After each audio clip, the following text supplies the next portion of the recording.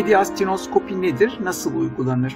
Kaynak Memorial Sağlık Grubu Sağlık Kütüphanesi. Akciğer kanserinde hastaların geçirdiği işlemlerden biri olan mediastinoskopi, kanserin farklı yerlere yayılıp yayılmadığını tespit eden, kanserin evrelenmesinde yardımcı olan ve genel anesteziyle yapılan bir girişimdir akciğer kanseri, lenfoma, sarkoidoz, lenfoma, mediastinal tümörler gibi önemli rahatsızlıklarda mediastinoskopi tedavi stratejisi belirleme açısından önemli bir rol oynar. Güvenilir bir işlem olan mediastinoskopi altın standartta bir yöntem olarak bilinir.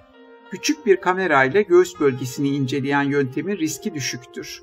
Memorial Sağlık Grubu Göğüs Cerrahisi Bölümü uzmanları mediastinoskopi işlemi hakkında bilgi verdi.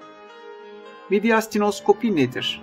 Göğüs hastalıklarında mediastinal tümörlerin tanısında kullanılan bir tanı yöntemi olan mediastinoskopi önemli bir işlemdir.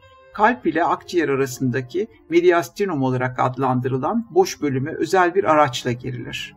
Girişim hastanın boyun kısmından olur ve nefes borusu dışında ilerleyerek boş bölgeye gidilir. Bu bölgeden biyopsi alınır.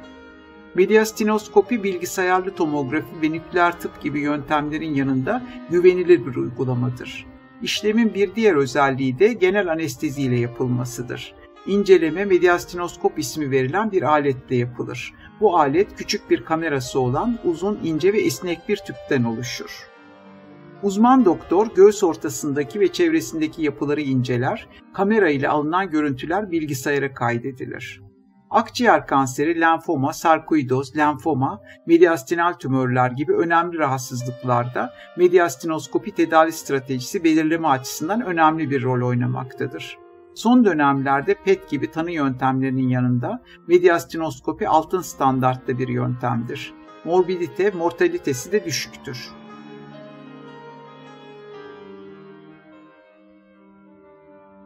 Hangi hastalıklarda kullanılır? Akciğer ve lenf düğümleri arasındaki alanlarda şüphe varsa bu işlem uygulanır.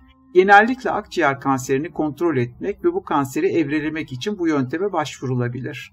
İşlemde lenf düğümlerini çıkarmak ve biyopsi yapmak mümkündür.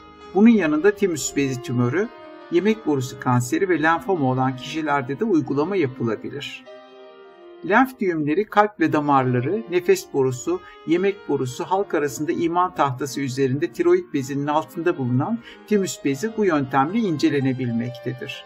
Timüs bezi lenfositlerin vücut hücreleri ve vücuda zararlı olabilecek yabancı hücreleri ayırt etmeyi öğrendikleri bölgedir. Bu yöntem sayesinde lenfoma, timoma, tiroid kitleleri, metastatik karsinomlar, sarkoidoz, bronş kistleri, nörojen tümörler, paratiroid tümörleri, teratoma, gastroenterik herni ile ilgili veriler de alınabilir. Akciğer kanserinin ameliyatının öncesinde evreleme için kullanılmakla birlikte burada alınan lenf bezi biyopsisinde eğer kanser hücresine rastlanırsa ameliyat önerilmez. Bu anlamda tedavi stratejisi açısından önem taşır. Mediastinoskopi nasıl yapılır? Mediastinoskopi genel anestezi altında yapılır. Hastaya damar yolundan bir ilaç verilir. İşlem için hastanın boğazına bir tüp takılır ve hasta bir solunum makinesine bağlanır. Göğüs kemiğinin hemen üzerinden küçük bir kesi yapılır ve sonrasında mediastinoskop cihazı ile göğüs içine girilir. Cihazda ışık ve kamera vardır. Bu sayede göğüs kısmı akciğerler, çevre bölge incelenir ve biyopsi örneği alınır. İşlemden sonra cihaz çıkarılır, kesi yeri kapatılır. Hasta uyandırılır ve solunum cihazından ayrılır. İşlem sonrasında anestezi nedeniyle hafif bir sersemlik olabilir. Mediastinoskopi sonrası neler olur? Hasta bir sorun olmadığından emin olunana kadar yakından izlenir. Hastanın ağız ve boğaz kısmı uyuşuk olabileceğinden bu uyuşma bitene kadar yemek ve içmek için izin verilmez. Uyuşma geçince işlemden bir gün sonra boğaz ağrısı, ses kısıklığı veya öksürük görülebilir. Kesi yerinde hafif ağrılar yaşanabilir. Eğer işlem ayakta yapıldıysa işlemden birkaç saat sonra eve gidilebilir.